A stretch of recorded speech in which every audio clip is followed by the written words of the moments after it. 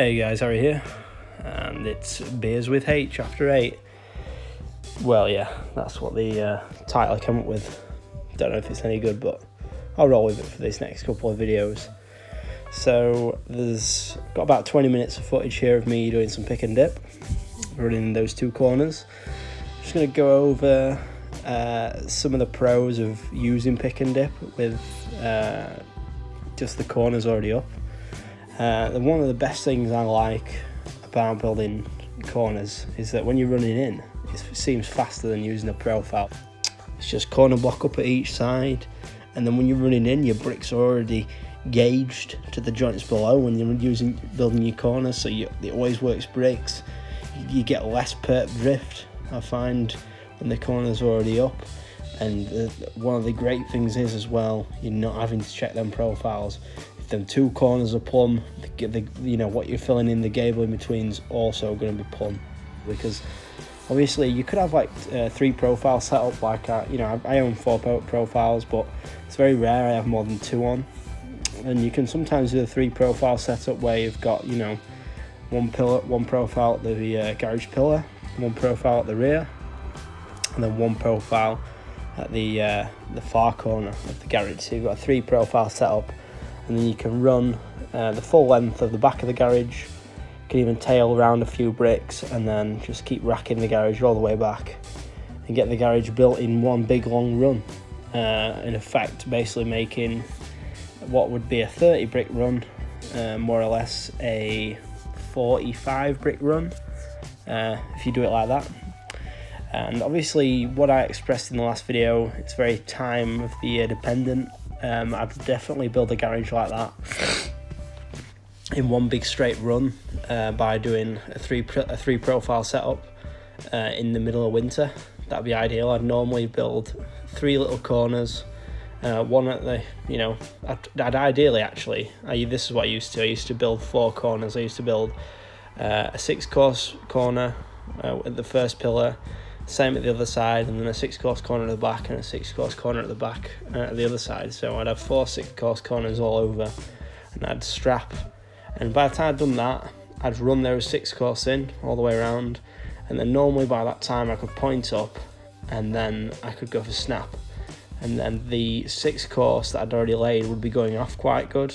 Especially the first couple of corners I built, they'd be going off really uh, quite solid. Then I could strap a profile on after my snap, and then I'd run round in a big long flank. So I'd just keep, you know, loading the mortarboards up, running round in a big long flank, and the bricks would be normally wet in, the, you know, in winter time of year or in wetter weather, and uh, they keep the wetness for like 20 course. I'm not kidding you. Like there's these these bricks I'm laying right now will keep their wetness. I remember laying these in winter last year. And these kept these kept their uh, you know kept the wetness of the joints for a good like 25 course.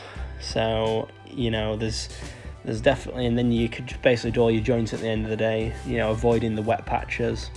Uh, I learnt off an old bricky to do all the wet bricks in one course, then all the dry bricks, then all the wet bricks, which is quite a good idea to be honest. I will try doing that more in winter, uh, doing all, one course of wet, one course of dry, one course of wet, and that really gets rid of your wet bricks quick if you can take time to segregate your bricks which especially with the slow starts you get in winter with like the it being too cold in the morning or definitely having like a bit of rain on the morning or especially in winter time the silo tends to break more. Um, it's just one of them things with the frost getting in and moisture getting into the worm the silos tends to break down. So there's always a bit of cleaning session going on with a few of the gangs. Either I've you know I've I've stripped down a plenty of silos in my time and it's not and it's one thing that does slow you down in winter in you know in the winter months. So so that'll be normally a good time to segregate your bricks you know. Segregate all the wet ones into one stack all your dry ones into another stack. So you'd stack up all your dry ones and all the wet bricks you just do in a little mini stack next to all your your dry. And blast on a course of wet uh, obviously with the course of dry underneath. And then on top of that course of wet blast a course of dry. And then it helps suck the moisture out of top and bottom, so it gets rid of them wet bricks pretty quick. Um, it's a pretty good it's a pretty good technique. I've I've seen it used in the January and February winter months uh, that were just that are now behind us. Thank God. uh, you know, I, I use that technique and it worked really well. So I'm going to utilize that in uh, future builds. Um, this garage that I'm building right now, this is the only footage I got of it. Uh, obviously, me running in this footage. Um, uh, the brick, you know, pick and dip isn't really. Um, I find, you know, personally, frog bricks, you know, it is made. They are more, they're easier to do pick and dip with. But to be quite honest, I prefer the perforated bricks for pick and dip. Um, a lot of people say you know they like the, uh, you know, the frog bricks. You know, the old school London frog brick um, for pick and dip. And you know, it is easy to do pick and dip. You know, your joints do get filled a little bit easier because of the flat face, flat bottom of the frog. So you have the frog and then you have the flat side. And it's a little bit easier, but I find the wrist strain is like a lot noticeable, a lot more noticeable, um, a lot more finger, a lot more finger wear because you're pressing the brick down more, and uh, you're like sliding on a flat plane. Whereas with a perforated brick, you've always got somewhere for the motor to go, so there's less strain on the wrist in the day. Because my fingers are absolutely, absolutely destroyed. Like my my brick hand, which is my right hand, because my trowel my left. I'm left-handed.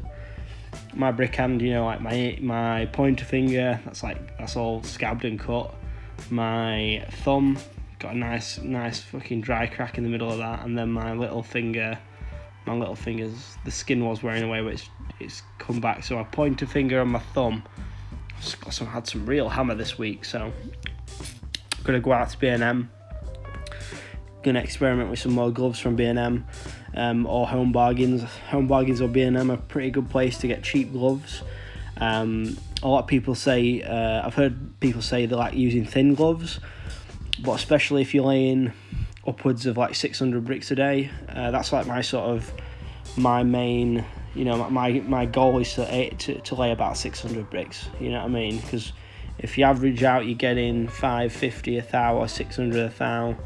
600 bricks is 300 is 500, so that's like 360. 360. So if you can lay 600 bricks a day, you know your hands are going to get some hammer pick and dip because it is more. There's more contact with your hand to brick pressing because you're not you're not furrowing the gobbo. There's more. There's just more. You know, more strain on the on the hand in general. It's going to be more wear on the hand and fingers pressing that brick into place and dragging the dragging motion as well. That really destroys your fingers and your hands. So I'm going to experiment with some cheaper gloves I've always used the Spear and Jackson gloves, been a real fan of those, but I found they only last about two days. So I know 50p a day ain't bad for gloves, but you've got to really keep on top of the gloves.